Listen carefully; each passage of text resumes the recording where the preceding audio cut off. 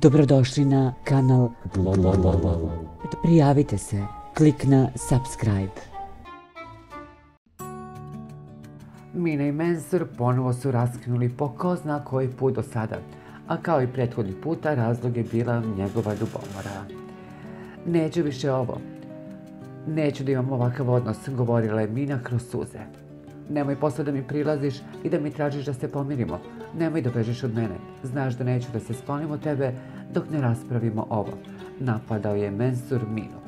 Naravno, ostavite komentar i prijavite se na globa.